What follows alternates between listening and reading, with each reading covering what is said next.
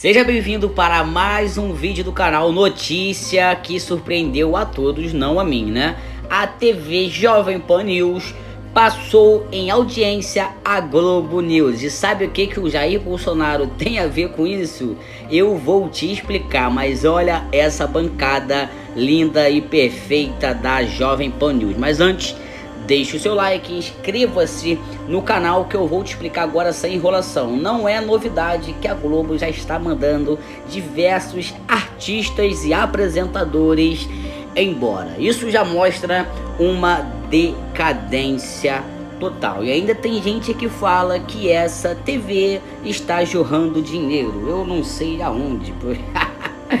E o mais incrível foi que na noite da quarta-feira, ao iniciar a TV Jovem Pan News, voltou a liderar, né, com cerca de um ponto de audiência a mais do que as outras emissoras, inclusive a Globo. E você deve se perguntar o que que o Bolsonaro tem a ver com isso. Bom, eu te explico, porque na estreia do programa, né, a TV Jovem Pan News conseguiu uma entrevista exclusiva com o Jair Bolsonaro, né, o presidente da República. Mas ainda tem gente que diz que esse senhor aí está na frente do Bolsonaro. Mas quem diz é essa TV Globo, né? A mesma que anos atrás era financiada por esses rapazes aí, esses senhores aí, né? Dilma e Lula, né?